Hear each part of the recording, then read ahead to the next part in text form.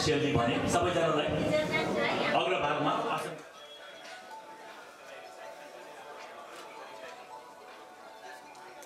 अनि यो टोखा नगरपालिकाको वार्ड नम्बर छमा म बसिआएको र यही ठाउँको लुगाहरू जो हाम्रो घरमा यत्र तत्र छन् र प्रत्येक बाहिर जाने बेलामा आवश्यकता परेको अर्को मान्छेलाई सिधै दिइहाल्न नसकिने पनि अवस्था।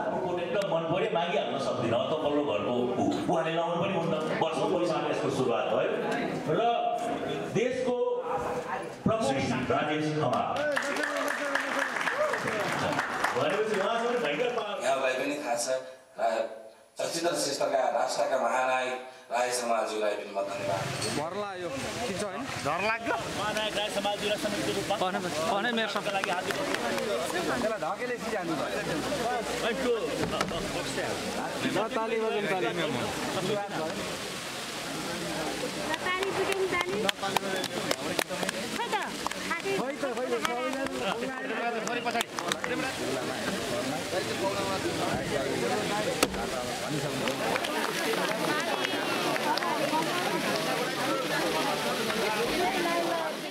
उहाँसँग चाहिँ नि मेरो व्यक्तिगत सम्बन्ध त्यो पृष्ठभूमिमा थियो र जब उहाँले यो कुरा लिएर आउनुभयो उहाँलाई मलाई थाहा कि उहाँले जुन कार्य गरिरहनु भएको थियो त्योभन्दा अलिकति पृथक कार्य हो यो चुनौतीको सामना उहाँले कसरी गर्नुहुन्छ र यसलाई साकार कसरी बनाउनुहुन्छ भन्ने किसिमको कौतुकता चाहिँ अवश्य पनि थियो तर उहाँको विशेष चरित्र चाहिँ के छ भने कुनै कार्यहरू उहाँले चाहिँ सोच्नुभयो या गर्ने आँट गर्नुभयो भने चाहिँ एकदमै लागि परिरहनुहुन्छ कटिबद्ध भएर चाहिँ त्यसमा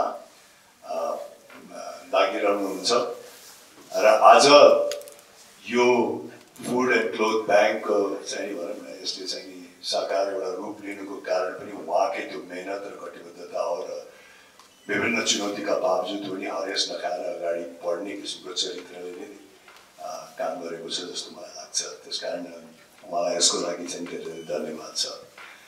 हामीले पहिलो यसको थालनी बुटोलबाट गऱ्यौँ बुटोल अ, उप अ, महानगरपालिकाबाट गऱ्यौँ।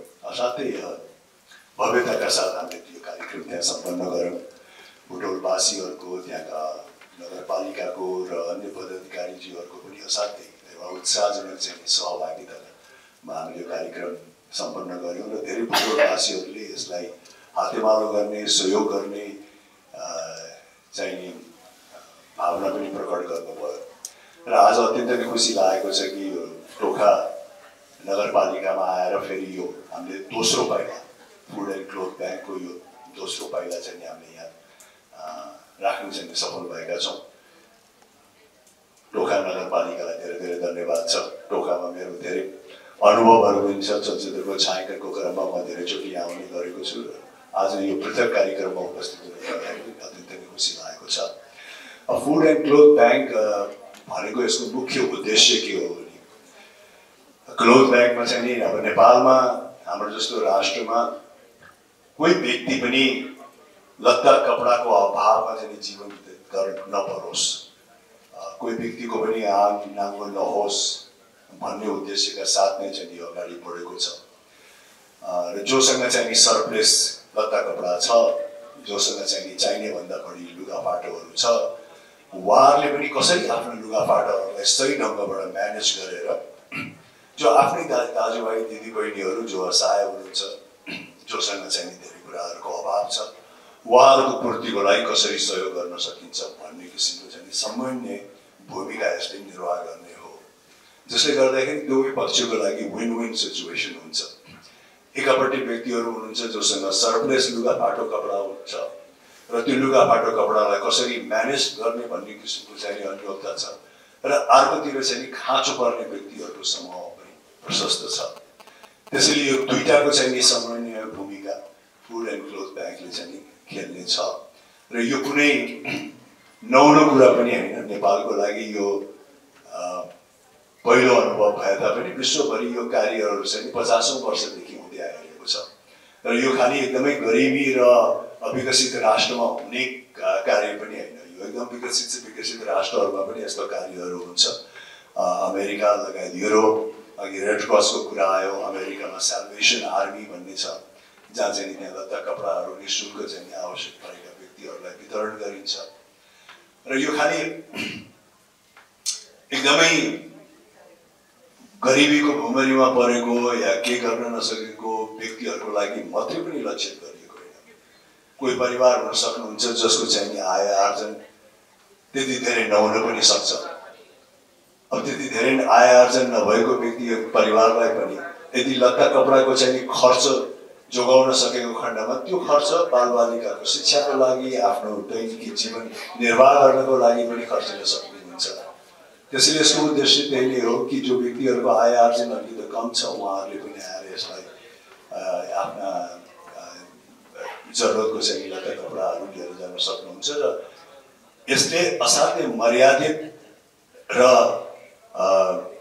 भनौँ न सम्मानजनक ढङ्गबाट चाहिँ लत्ता कपडाहरू वितरण गर्छ।